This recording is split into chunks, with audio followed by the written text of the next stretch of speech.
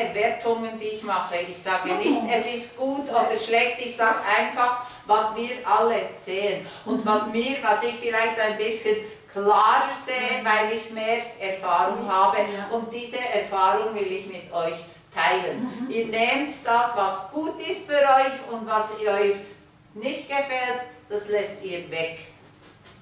Ist gut. Die anderen Hunde, die schlafen und er ist da sehr aufmerksam und er auch. Ja. Das ist sehr interessant und er ist jetzt einfach so müde, dass er gar nicht mehr kann. Oder das ist auch eine gute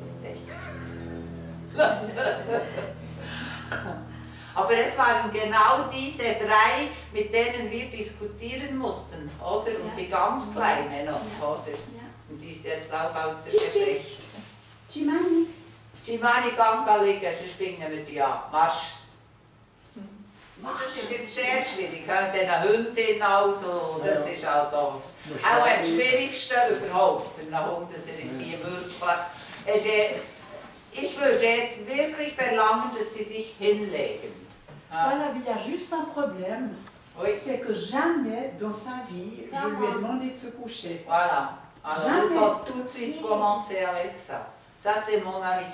Als ich noch Appenzeller gezüchtet habe, war das die fünf Monate Regel, dass jeder junge Appenzeller sind und weil die sind sehr dominant, oder dass die lernen sich hinzulegen und dass sie bleiben und liegen, bis ich sage, dass sie wieder aufstehen dürfen. Und genau mit dem kannst du deine Dominanz festlegen, oder? Und genau er ist der, der am meisten aneckt jetzt, oder? Der am meisten Unruhe gebracht hat ja. und er musste das nie machen. Es bestätigt ja. eigentlich genau das. Es ist etwas so Dummes und Blödes, aber es hat einen hundertprozentigen Effekt und Erfolg. Und da müssen wir nachher nicht draußen beim Spazieren oder irgendwo auf den Hunden herumhaken, aber das verlange ich auch schon von dort, verlange ich das jetzt, dass sie sich hinlegt und ruhig ist ist, wenn ich das will. Und sonst, aber ich übe das sicher nicht jetzt in der großen Ablenkung zuerst, sondern an einem Abend, wo ich nicht mehr müde bin, mich sowieso hier hinsetze und dass sie sich genau dorthin legen, wo ich sage, nicht hier, wenn ich sage da. Das ist auch sehr wichtig. Und die ersten zweimal, dreimal ist es sehr, sehr schwierig und er wird immer wieder aufstehen, obwohl er sonst jeden Abend genau auch hier ja, liegt, ja. aber obwohl ich es nicht mhm. verlange vom Hund. Mhm. Und wenn wir das dann durchgesetzt haben, beim zweiten Mal muss man es vielleicht noch dreimal. Und wenn er weggeht, dann nehmen wir ihn ruhig und hier habe ich gesagt, liegen und ja. warten. Und dann, bis das Gegenkommando kommt, so ist gut, du kannst wieder aufstehen. Das ist eine super Übung für einfach pubertierende Hunde, um sie wirklich in die Rangordnung zu zwingen. Oder? Und das kann man in Ruhe machen, aber nicht, wenn wir sowieso schon müde sind und keine Zeit haben. Dass wir das wirklich in Ruhe und Bestimmtheit, genau hier habe ich gesagt. Es ist möglich, bei der musste man das sicher zehnmal machen sie zurück an den Platz bringen, bis sie dann wirklich liegen geblieben ist. Und jetzt sagt er, komm hier und leg dich hin und es ist keine Diskussion mehr, sie hat nicht mehr so viel. Und das heißt, dieser Hund ist gut in seinem Rudel integriert und dann ist es dem Hund auch wohl. Alors Sandra, hier ist Sandra Erziehung mhm. und dort Jacqueline.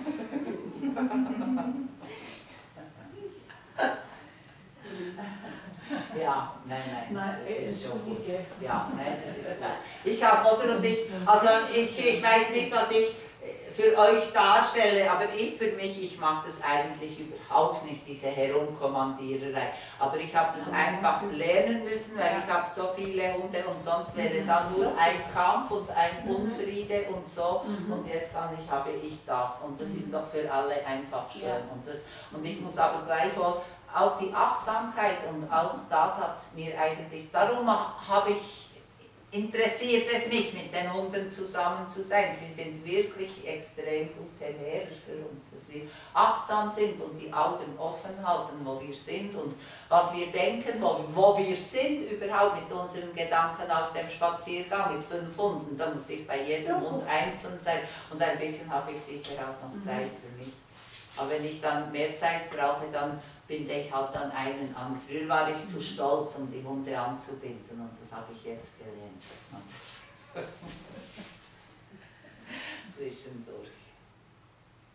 Sandra, Entschuldigung, ja. jetzt, äh, das betrifft die Dominanz, oder? Ja. Wenn jetzt ängstlicher Hund da ist, oder? Mhm. Und immer auf der Laube ist, nicht um etwas zu dominieren, aber dass er kann im Falle Todesgefahr einfach wegrennen. Mhm. Mhm. Muss man das, würde das auch sinnvoll, ihn irgendwie... Absolut.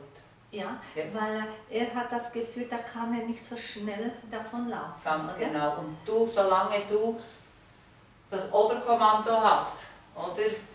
bist du vertrauenswürdig und dann kann er wie frei, oder? Mhm. Er ist nicht im Dienst und wenn ein Hund es dann so lernen kann, kannst du mir schnell einen Welpen geben, Das ist genau das, wenn die Welpen, die Mutter, wenn sie putzt, oder? Dann legt sie die Kleinen auf den Rücken und die müssen sich ganz entspannt hinlegen. Und die Mutter die kann dann untersuchen, ob ein Floh da ist und das seht ihr, das ist wirklich entspannt, oder? Und er macht das das erste Mal hier in einem solchen Rahmen und er hat einfach Vertrauen, das ist okay. Und genau diese Übung, die machen wir ja auch in der Welpenspielstunde, das ist auch eine absolute Unterwerfung. Und man sagt, dass es den dominanten Welpen zwingt es in seine Rangordnung rein, also auf die feine Art und dem ängstlichen Hund gibt es die Sicherheit, weil wir machen das und haben, er schläft jetzt weiter. Und, er hat, dass wir die Situation im Griff haben. Mhm. Und dass man das übt und eigentlich immer wieder, und du kannst hier auch den Charakter testen, oder ein Appenzeller werden, indem du das erste Mal in diesem Alter auf den Rücken drehen willst, der, schreit bis hinunter zum Genfersee, ist das hörbar und wird hysterisch und alles Mögliche, oder? Aber wenn man das muss man wirklich fast von ganz klein an üben. Und da kannst du auch den Charakter eines Welpen, kannst du das ziemlich schon gut sehen. Und dort sind unsere Tibet Spaniel eigentlich recht einfach, weil sie sind nicht dominant in dem Sinn, aber sie sind sehr selbstsicher und sehr selbstständig und darum mhm. muss man ihnen auch eine sehr klare einen sehr klaren Rahmen geben. Also das ist das, was wir werken. Und das kann ich auch mit jedem meiner erwachsenen Hunde machen. Oder? Und das heißt eigentlich, dass sie wirklich Vertrauen haben zu mir. Mhm. Und das sind wir ihnen schuldig, weil sie sind, ich vergleiche das immer ein bisschen wie ein vierjähriges Kind, das wir in Bern zum Löb schicken, um einen Reißverschluss zu kaufen. Das ist nicht möglich von hier aus. Es hat die Fähigkeit nicht und so hat der Hund die Fähigkeit nicht, uns zu beschützen und die Verantwortung für uns zu übernehmen. Wir sind einfach seine Oberhunde und wenn er dann gut eingepasst ist, dann kann er sich wirklich entspannen und hat dann auch frei. Und dann kannst du auch anbinden. Wenn wir die Hunde anbinden, dann geben wir keine Energie und können besser entspannen. Weil wenn wir da ist immer eine Nabelschnur da, wo wir Energie geben, oder? Und wenn wir sie anbinden, dann können sie mal ihr Gleichgewicht finden und wir können unser Gleichgewicht finden. Das hat zwei wichtige Punkte. Das erste ist das Bellen vom Balkon oder vom Fenster runter. Sie sind Wachhunde. Wachhunde. Ja. Oder? Das ist ein Hütehund, der hat viel weniger Wachinstinkt wie der Appenzeller auch. Der ist ein Wachhund, die sind sehr vocal, die Stimme ist sehr rasch bereit, etwas von sich zu geben, wenn ein anderer Hund noch lange schweigt, oder? Und das ist sicher viel, viel schwieriger, das wegzukriegen, weil die wurden über fast Jahrtausende auf das gezüchtet, dass sie angeben, wenn mhm. irgendetwas Neues ins Gesichtsfeld kommt. Was man dort dem Abhilfe schaffen kann, ich habe beim Garten einfach Sichtschutz hingemacht oder gegen den Bären, dass sie gar nicht so gut heraussehen und das nützt extrem. Und ich würde ihm halt diesen Stuhl mal in Gottes Namen geben. Die Distanz, ich, äh, 500 Meter ist natürlich enorm, oder? Jetzt mit Dode ist genau dieser Punkt, wo sie jetzt anfängt, ein bisschen weiter zu gehen und so. Und jetzt war ähm, Bumba in den Ferien und die hat die Tendenz zu rennen und relativ weit. Und da habe ich es jetzt wirklich vermieden, beide zusammen laufen zu lassen, weil ich will, dass Dode in einem viel kürzeren Radius, kleineren Radius bleibt. Weil je kleiner der Radius, umso besser habe ich die Kontrolle. Das haben wir bei Dode auch gesehen, als sie auf eine Distanz von drei Meter weg war und Nando anbellte, konnte sie hören und konnte kommen. Wenn sie aus diesem Radius raus war, war der, zu wenig Sicherheit da und sie konnte nicht mehr gehorchen. Und wir sind aufgefordert, die Hunde eben nicht über diesen Radius mhm. hinaus gehen zu lassen. Weil je weiter, und dann können wir das mit der Zeit trainieren, dass sie immer auf größere Distanzen gut gehorchen. Aber weiter als 20 Meter würde ich einen Hund nie gehen lassen. Wenn die Lamas am Meditieren sind, dass sie ruhig sind, aber sonst wurde eigentlich von ihnen verlangt, dass sie ihre Persönlichkeit leben und irgendwo auch ein bisschen den Hofnarr sind und die lustigen Kerle und selber Ideen haben und so. Und bei ihm, da ist natürlich immer gefragt, oh, da darf nichts falsch gehen, weil sonst ist plötzlich ein Schaf tot. Das geht sehr schnell, oder? Und darum sind sie eigentlich sehr einfach zum Erziehen und möchten es wirklich eben recht machen und so. Und das mit dem Dominanten, das ist irgendwie so schön ähnlich wie bei mir, bei den Appenzellen. Da musst du einfach so konsequent, nicht hart, aber so konsequent sein und immer einen Schritt vorausdenken, weil sie intelligent sind und sie, wie die Boxer auch, die haben dann äh, eben nicht, auch nicht wie ein deutscher Schäferhund, der vielleicht hart ist, aber der macht einfach, was gesagt wird und der Boxer auch. Ich hatte auch einen in der Hundeschule und ich musste immer so lachen auf diesen Hund wie mit den Appenzellen, man muss wie zwei Schritte vorausdenken und dann, damit der Hund dann das Gefühl hat, ja, das ist genau das, was ich jetzt machen wollte. Dann komme ich, dann mache ich das. Aber wenn du sagst, jetzt musst du das machen, ich, warum? Oder sicher nicht, dann kommt zuerst diese Haltung. Und wenn man mit diesen Hunden dann irgendwie gelernt hat, umzugehen, wird man dann irgendwann belohnt mit so etwas Weichen, wo du einfach nur sagen musst, nein, das möchte ich jetzt wirklich nicht haben. Wie bei Nori und bei Jurisch und bei den meisten von mir, eigentlich auch bei Dode, die, die verstehen das einfach ganz normal mit ihnen reden und das ist dann irgendwie sehr, sehr angenehm. auch dort, wie, wie dann eben wieder die Entwicklung zeigt, äh, was zu uns kommt und wen wir haben und ja, das ist immer sehr schön. Manchmal eben ja zu viel bellen oder, oder eben da irgendwo dieses nach vorne schnellen und Leute anbellen und dann ein ganz falsches Bild von sich irgendwie ja. vermitteln. Das, ja. das irgendwie die Leute, das sind ja so liebe Hunde, oder? Aber dass die dann irgendwie dann das... Äh, und das ist dann natürlich mein Ego, ich, die immer die liebe Nette sein möchte und dann stehe ich so blöd da mit diesem kläffenden, aggressiven, kleinen Kläffen. Gut, ja, das wäre mal das. Aber ich bin dran. Und dort habe ich wirklich angelernt, hätten Sie einmal mehr anzubinden, oder? Und da hat der junge Rinpoche mir das wirklich gesagt einmal, dass wir die Verantwortung haben, nicht im Buddhismus, da haben wir auch die Verpflichtung, keinen Schaden zuzufügen, auch uns nicht. Und indem ich nicht aufmerksam bin mit meinen Hunden und sie, ihnen, sie zu weit gehen lasse, mhm. da füge ich ihnen Schaden zu, indem ich sie einem Stress aussetze, dem sie nicht gewachsen sind. Und von dem Punkt an habe ich wirklich, konnte ich die Hunde anbinden, weil, nicht weil ich mich eben gezwungen fühlte, sondern aus Liebe und aus Respekt zu meinen Hunden, denen ich das irgendwie schuldig bin.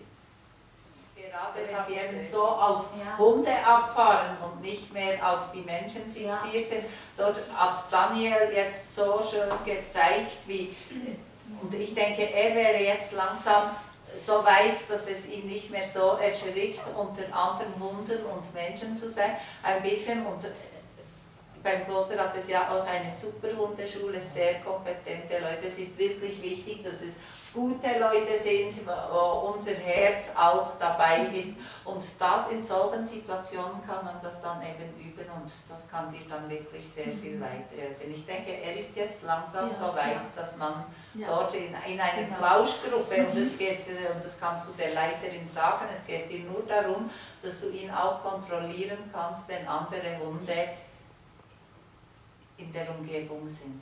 Ja. Und das Gleiche bei ihm vielleicht auch noch, das muss ja nicht immer sein, aber mhm. einfach hier und da wieder mal gehen, dass er einfach dort, wo man wirklich dann auch lernt, ohne Leine unter anderen Hunden ein bisschen zu arbeiten und das bringt dann viel Entspannung und er hat dann auch immer wieder die Sicherheit, weil in der Hundeschule da passiert auch nichts, da wird er nicht angegriffen und nichts, oder?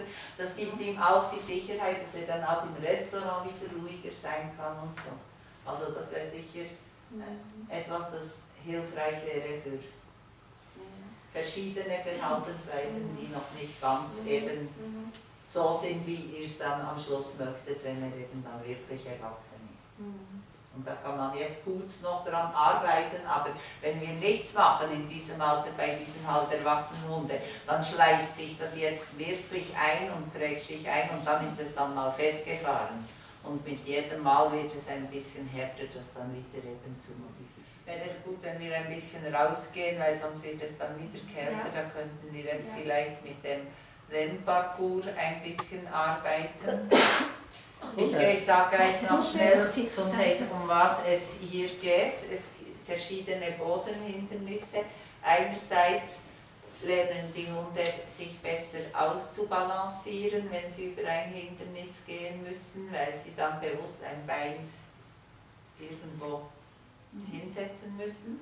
Und auch der, das ist das eine, auf der anderen Seite lernen sie besser auf den Besitzer oder Hundeführer zu achten, weil sie es, es ähm, intensiviert die Beziehung, weil der Hundeführer und auch der Hund konzentrieren sich beide auf die Hindernisse und es ist eine sehr enge Zusammenarbeit, die bei diesen Hindernissen stattfindet. Es geht also nicht darum, schnell das drüber zu gehen, sondern möglichst die Energie fließen zu lassen und zusammen etwas sehr bewusst zu machen. Das wäre das Ziel bei dieser Bodenarbeit. Ein weiterer Effekt ist, außer der Balance eben und der guten Beziehung. Es kann auch lernen, Hunde, die ein zum Beispiel eben gerade auch das Problem, ich muss unbedingt auf andere Hunde losrennen, wenn ich einen sehe, das könnte man jetzt sehr gut, da wird auch der Parcours geeignet, indem dass wir einige Hunde spielen lassen und Nando zum Beispiel durch den Parcours geht mit mhm. Alena und dort eine Erfüllung findet, dass er dort sieht, aha, ich kann ja beim Meister bleiben, ich mache etwas Schönes mhm. bei ihm, die anderen Hunde spielen mhm. und es ist okay. Mhm. Weil häufig, der Hund hat ja nicht einen Verstand wie wir und kann nachdenken, es läuft vieles so programmmäßig ab. Wenn er einmal etwas getan hat, ist die Wahrscheinlichkeit, dass, es, dass er es wieder so macht. Und dieses Parcours und sich konzentrieren auf die Hindernisse, öffnet dann ihm die Möglichkeit, eine Situation neu anzuschauen. Eigentlich.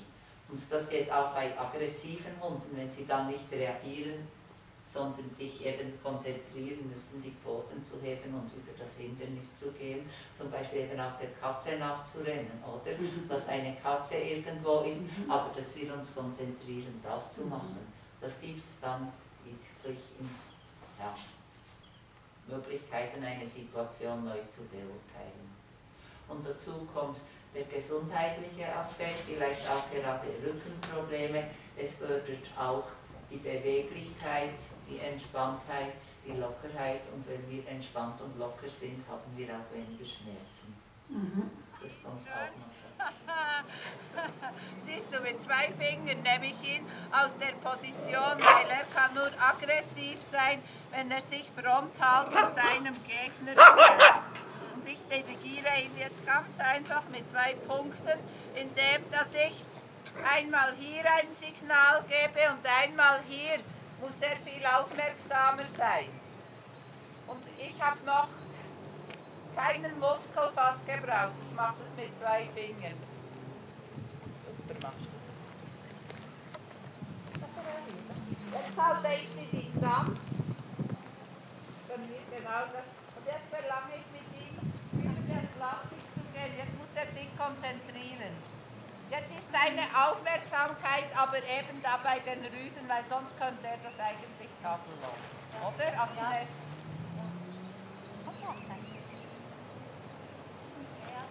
Ja. Super. Bravo. Wow, so gut. Gut. Jetzt beginnt er sich zu konzentrieren und jetzt hat er es vergessen. Und genau das wollen wir. Dass er dem keine Beachtung schenkt, weil es ist ja wirklich nicht wichtig. Das ist jetzt super Demoxie. Und genau das wollen wir erreichen. Und hier helfen diese zwei Punkte. Weil ein Hund kann nur aggressiv sein, wenn er sich frontal zu seinem Gegner stellt. Und wenn wir ihn dann einladen, ich zwinge ihn nicht einmal, stell dich seitwärts, kannst du Ruhe schauen. Zeig ihm so, dass es eine andere Möglichkeit gibt, dieser eingeübten, doofen, unerwünschten, stressigen Situation zu begegnen. Und dafür sind die Hindernisse sehr wirksam, weil er muss sich dann wirklich konzentrieren, sonst schlägt er zum Beispiel die Füße an oder macht die Wendung nicht gut. Wenn ich jetzt da durchs Labyrinth mit ihm gehe, gar schön. Er sich wirklich konzentrieren und dann anhalten, weitergehen. Schön. Ganz schön. Ich bleibe aufrecht, wenn ich den Hund führe, mache nicht so. Ich beuge mich nicht über ihn, damit ich keinen Druck mache. Ich lade ihn mit meinem Körper ein, zeige ihm auch die Richtung an, wo ich gehen will.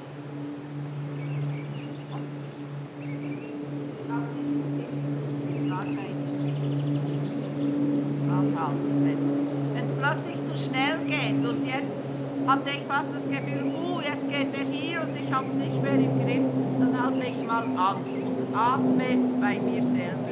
So hat er auch Zeit, sich ins Gleichgewicht zu bringen.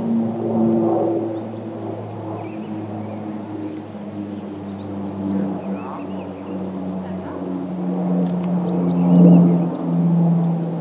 Wieder schön ein. Und dann halten. Damit er wieder Zeit hat, weil sonst hätte er diese Kurve hier nicht gekriegt. Der war gegen so.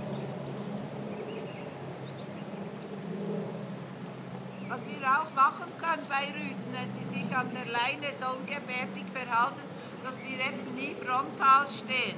Ich probiere jetzt im Zickzack zu kreuzen und halte eine ziemlich große Distanz ein. Das ist auch so schön, wie du das machst. Bravo. Schaut mal alle ohne zu bauen. Das ist auch so grossartig und ein bisschen tun wir sicher auch nicht. Ah, ganz schön. Dann mal schneller, einfach, dass ich die Aufmerksamkeit von ihm... Ah, Nochmal dafür. Fein. So schön. Jetzt haben wir den Kindle schon vergessen. So, das ist wunderbar.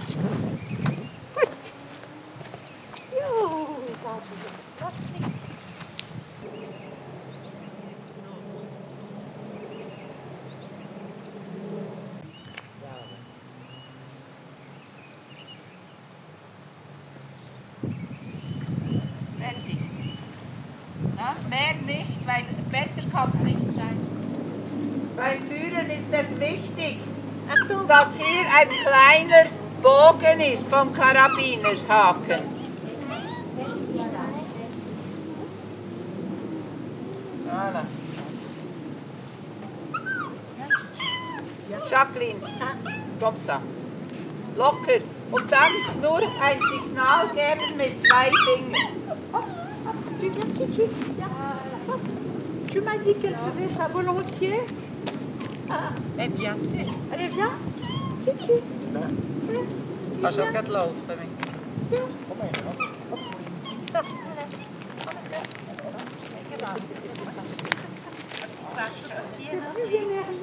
Ja, wieder besser. Nein, wenn du Angst hast. Also, es ist immer da.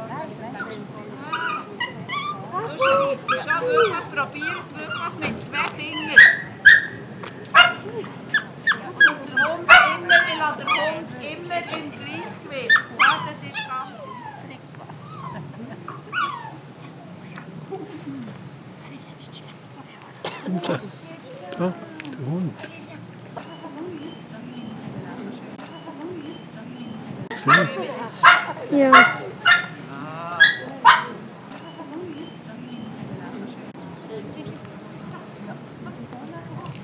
on y va?